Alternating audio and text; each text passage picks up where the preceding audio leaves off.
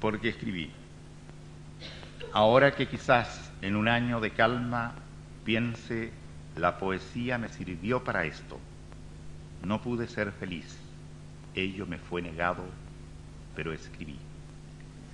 Escribí, fui la víctima de la mendicidad y el orgullo mezclados y ajusticié también a unos pocos lectores.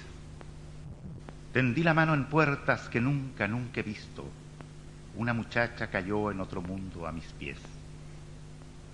Pero escribí, tuve esta rara certeza, la ilusión de tener el mundo entre las manos. Qué ilusión más perfecta, como un Cristo barroco con toda su crueldad innecesaria. Escribí, mi escritura fue como la maleza de flores ácimas, pero flores en fin, el pan de cada día de las tierras eriazas, una caparazón de espinas y raíces. De la vida tomé todas estas palabras como un niño oropel guijarros junto al río, las cosas de una magia perfectamente inútiles, pero que siempre vuelven a renovar su encanto. La especie de locura con que vuela un anciano detrás de las palomas imitándolas me fue dado en lugar de servir para algo. Me condené escribiendo a que todos dudaran de mi existencia real, días de mi escritura solar del extranjero. Todos los que sirvieron y los que fueron servidos digo que pasarán porque escribí, y hacerlo significa trabajar con la muerte codo a codo, robarle unos cuantos secretos. En su origen el río es una veta de agua, allí por un momento siquiera en esa altura, luego al final un mar que nadie ve de los que están braceándose la vida.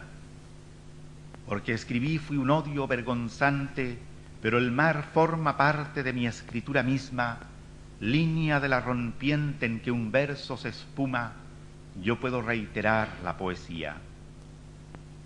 Estuve enfermo sin lugar a dudas, y no solo de insomnio, también de ideas fijas que me hicieron leer con obscena atención a unos cuantos psicólogos, pero escribí y el crimen fue menor, lo pagué verso a verso hasta escribirlo, porque de las palabras que se ajusta al abismo surge un poco de oscura inteligencia y a esa luz muchos monstruos no son ajusticiados.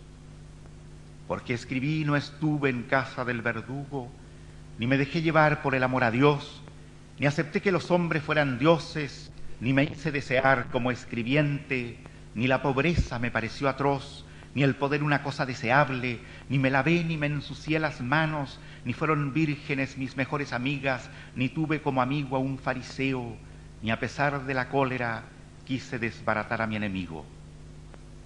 Pero escribí me muero por mi cuenta, porque escribí, porque escribí estoy vivo.